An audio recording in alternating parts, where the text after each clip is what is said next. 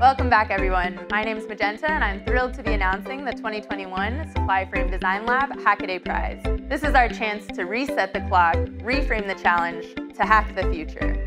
Rethink the way we communicate through technology, design solutions for remote collaboration, create hardware that solves problems, and invites the next generation of engineers build electronic companions or robots for everything from support to functional assistance, or chase the wildcard and pursue your own idea. Reimagine, refresh, rebuild. This is the Hackaday Prize, brought to you by SupplyFrame and DigiKey Electronics. Be sure to stay tuned for updates. There's so many ways to engage, both online and in person. So gather your team, nominate your mentors, and get hacking.